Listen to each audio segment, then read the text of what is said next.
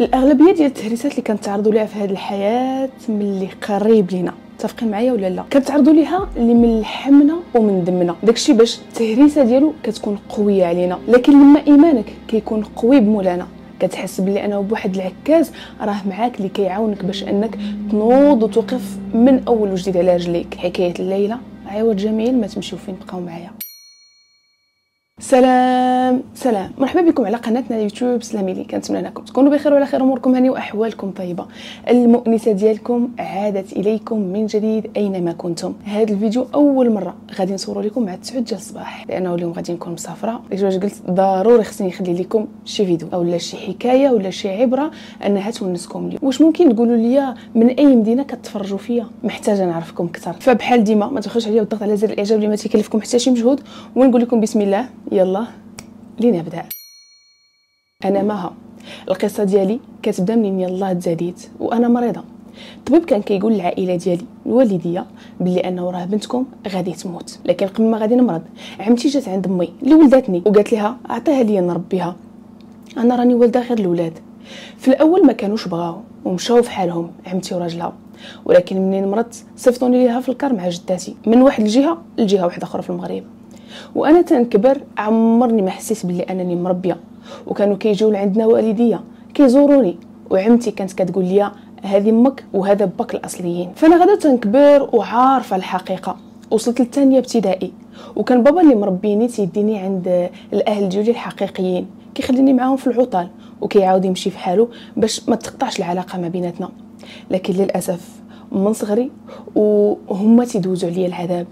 كانوا ناس اللي هما منافقين تيهضروا في عائلتي وكانوا كيسمعوا ليا كلامهم اللي كان خايب وأنا كنت كنتألم داخليا. تنرجع عند دوك اللي ربوني وكنتنسى شنو وقع مع الأصليين حيت كنكبر أنه الوالدين راه فوق كل شيء واخا يكونوا خايبين. غادي نكبر ودرت ديك 16 17 سنة وجا واحد السيد اللي هو الصديق ديال بابا اللي كان دايز وقالوا ليه جيب لنا معاك بنتنا. ركبت مع داك الراجل في الطوموبيل ديالو اللي كان كبير وعايش في دولة أوروبية. حتى وصلني لعندهم وجلست معاهم ما كنتش كنقدر نكمل حتى 15 يوم بسبب العذاب النفسي اللي كانوا تيديروه ليا. تيكونوا جالسين في الصالة ولا في البيت الآخر. وكنبقى كنسمعهم تيهضروا عليا. اولا تيقولوا شي كلام اللي ماشي مزيان. كيهضروا في الناس اللي رباوني اللي وليت كنعيط لهم ماما وبابا. وكيهضروا في خوتي اللي أنا مربيه معاهم وفي خوالاتي وفي هذه وهذه وهذه. المهم دوزت دوك الأيام وما تحملتش نبقى. فرجعت. شوية هما تيصوني وتيقولوا لي راه داك السيد اللي جاب مها راه عجباتو وبغاها. أنا منين قالتها ليا ماما اللي مربياني رفضت وقلت لها راه السيد قد عمي وراه مستحيل أنني نتزوج بداك الشخص ومن هذا السن. ما تسوقاتش لداك الشيء وخليناهم تيلغيو بلغاهم. هما أصلا عمرهم حتى سولوا فيا واش أنا حية ولا ميتة. ودابا تيصونيو باش أنهم يقنعوني نتزوج بهذا السيد لأنهم كيهمهم الفلوس. داز عام وعيطوا عليا في الصيف. وقلت لهم بلي أنا رافضة. والحلم ديالي أنني ندير ديبلوم ديال الطبخ لأنه تنحماق على الحلويات وحتى على الكوزينة. قالوا لي أجي ديري عندنا. لكن فاش مشيت قلبوني وما بغاوش. لا ما نحنا نبقاو نخلصوا عليك الطوبيس؟ واش نخلصوا عليك كل شهر؟ واش نديروا ليك؟ واش نفعلوا ليك؟ رغم أنه خوتي الحقيقيين ميسرين لهم كل شيء وهاد والديا البيولوجيين ميسر عليهم مولانا على هذوك اللي مربيني اللي على قد الحال. واصلا هما ما كانوا تيشريو حتى الحوايج بالعكس هما كانوا كيحيدوهم ليا. كانت كتحيد لي البيجامات باش أنها الأم ديالي البيولوجية باش أنها تعطيهم لبنت الجيران تنكون جالسة حتى كتدخل عليا شي وحدة. وكتحل لي الباليزه ديالي. وكتقول لها شوفي السروال اللي جابت شوفي إذا عجبتك شي حاجة اديها حتى من الملابس الداخلية ديالي اللي مقطعة كانت كتوريها لهم وأنا عندهم غادي نسمع واحد النهار بابا البيولوجي تيدوي مع صاحبه اللي بغى يزوجني ليه. وقال ليه لا راه ما غلطتش. علما أنني قصيره وضعيفه وحروفي كحلين. والناس كتقول لي بلي أنا كي زوينة لكن أنا هكا كنت نشوف راسي. سمعت بلي أنه بابا قال داك السيد أنا غادي نشري لها السيرو باش أنها تغلط. ومن بعد نصيفط لك التصوير تشوفها. سمعت هذا داك الصباح وقلت لهم بلي غادي نمشي في حالي. جيت ونسيت وصراحة هذا هو الغلط اللي كنت كندير. أنني كنت كنسى وبسرعة كندوز لحاجة واحدة أخرى. هما غادي يمشيو لمدينة واحدة أخرى. عند واحد عمي البيولوجي. عنده دارو تما. مشاو على قبال خويا لأنه بغى الدبلوم فمشيت عندهم وقلت ندير داك الدبلوم عندهم تما. مشيت تنقلب معاهم. شوية قالوا لي بلاتي يا مها تسني حتى نرجعوا للمدينة ديالنا. وديري داك الدبلوم ثقت فيهم عاوتاني. وما ناضوا جابوا لي راجل واحد آخر اللي يتزوج بيا. أنا داك داك السيد كان جاي يشوفني نهار السبت. أنا مشيت نهار الجمعة. تخيلوا ديك السنة اللي كنت كنمشي وكنجي فيها كان البرد. وكنت فاش كندخل كندوش كانوا ديما كيطفيو عليا الدوش. اولا تينقروا إذا هزيت الدسر مثلا علما أنهم ما محتاجينش. هذيك هي السنة الأخيرة اللي منها ما بقيتش وصلتهم لأنه والدي البيولوجيين مقروضين وداروا شي زبلة مع عمي وناضوا صبوها فيا. لكن ربي سلكني كيف الزغبة من العجينة. وداك عمي عرف الحقيقة ديال خوه وقاطعو وتا أنا قاطعتهم وحتى هما ما عمرهم ما سولوا فيا. رجعت عند والدي اللي مربيني وهنا فين غادي تبدا قصتي؟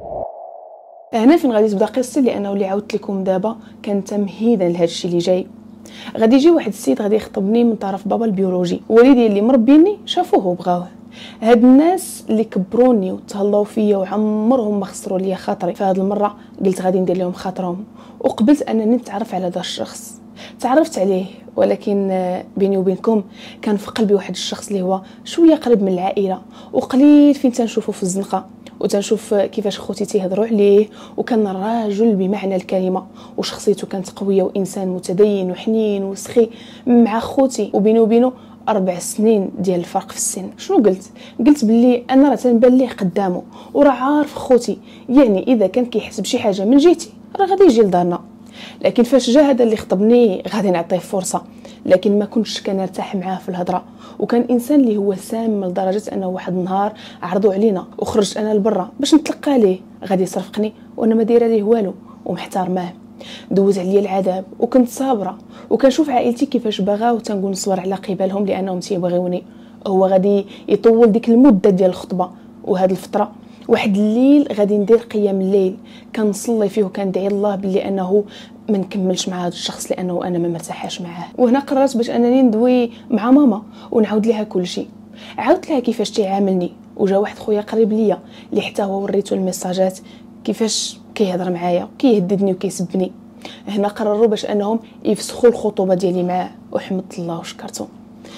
فاش ندوي لكم على والديا عادي نعرفوا بلي أنه هما اللي رباوني غادي دوز شهور قلال وتناسيت شنو وقعت وقلت تجربه دازت على الراس ونسيتها داك السيد اللي هو قريب للعائلة وتعرف خوتي غادي يجي يقول خويا راني بغيت نخطب أختك معها.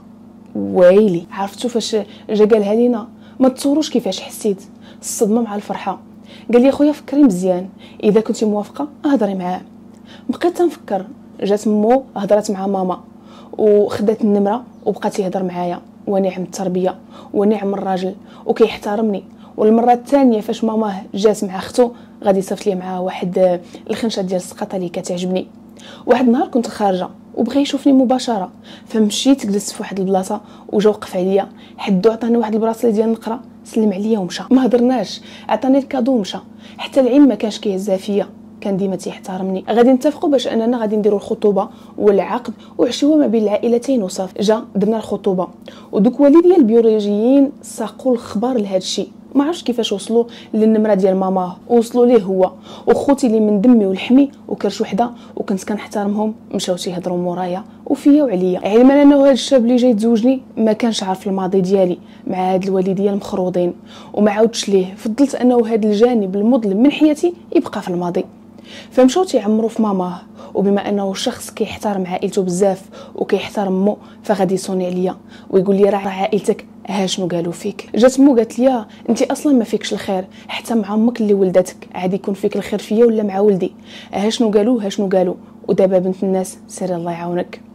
حدي قلت لها انت سمعتي غير من جهة وحدة خالتي وما سمعتيش مني أنا ما عندي ما ندير لك من حقك وراه ولدك هذاك. بكيت وتقصحت ودارني قلبي.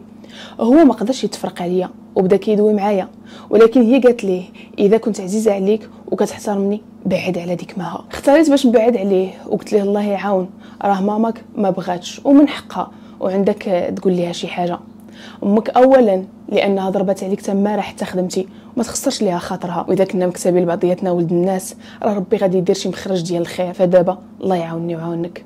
ماماك عندها الحق أنها تختار لك البنت اللي تكمل معها حياتك. أو على الأقل من حقها أنها تكون فرحانة لك. راه واخا نتزوجوا وما تكونش هي فرحانة راه غادي نعيشوا في المشاكل. لأنه الزواج ماشي غير ما بين زوج ديال الناس ولكن ما بين زوج ديال العائلات. اللي خاص يكون التراضي ما بيناتهم. خسروني مع هاد العائلة وبعدوا عليا الشخص اللي بغيت. وهنا قررت ما كاينة حتى شي حاجة في حياتي. غادي نبقى كنصلي صلاتي ونطلب الله أنه يفرجها عليا. بقيت مجتهدة في علاقتي مع ربي وسد عليا في الدار. دخلت كنقرأ القرآن ودازت شهورة. حتى لواحد النهار غادي تصوني عليا واحد النمرة ولكن ما عرفتهاش. لكن ديك الليلة من قبل ما تصوني عليا ديك النمرة سبحان الله صليت قيام الليل. والفجر وجلست كنقرأ في القرآن وارتحيت واحد الراحة اللي ما يمكنش كيفاش حسيت بها ديك الليلة. بحال شديتو قلبي وكبيتو عليه الماء مثلج. واحد الراحة يا سلام فقدت نضحك وقلت الله راني مرتاحة هذا النهار بزاف الحمد لله. هي هذيك داك الصباح كتصوني عليا واحد النمرة اللي ما عرفتهاش. ألو؟ ألو. كنلقاها الام ديال الشخص اللي بغاني وبغيتو بنتي ماها أنا مزاوقه فيك عافاك راني بغيت نتلاقى معاك واش تجي عندي للدار؟ رفضت أنني نمشي لدارها وتلاقيت في واحد الجردة معاها وجلسنا. قالت لي ظلمتك بزاف بنتي وسمحي لي وبدات كتشنشق بالبكا قالت لي منين تفرقتي مع ولدي فلان هادي عام؟